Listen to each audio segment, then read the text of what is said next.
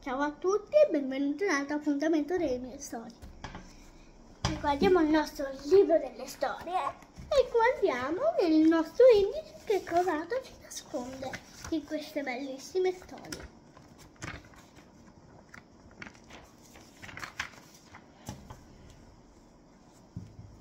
Questo? Ah, giusto, una delle più belle. Un gattino che si chiamava Dorino.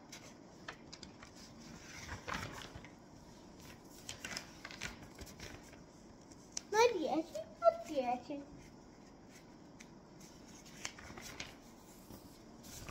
Un gattino che si chiamava Dorino.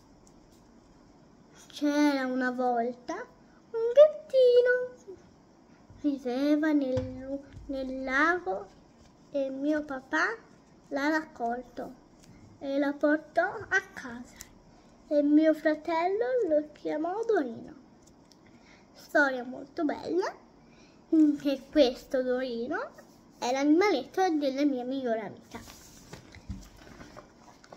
L'ha disegnato lei, quindi come ben sapete, come ben avete capito, questo è Torino. Ciao!